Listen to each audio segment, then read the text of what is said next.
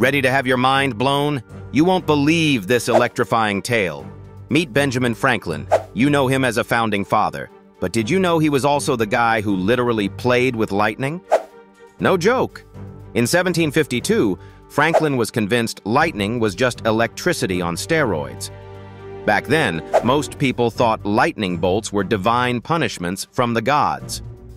So, Franklin made a kite experiment that would either unravel the mysteries of the skies or roast him alive. He tied a metal key to a kite string and waited for a storm. He had no idea if it would work, or if he'd get fried like a crispy piece of bacon. And when lightning struck, sparks danced from the key to his hand. Franklin wasn't just proving a theory. He was rewriting the laws of nature. His crazy experiment paved the way for lightning rods and modern electricity. Think about it.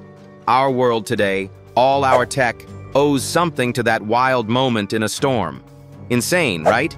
Don't forget to like and subscribe if you want more history that shocks.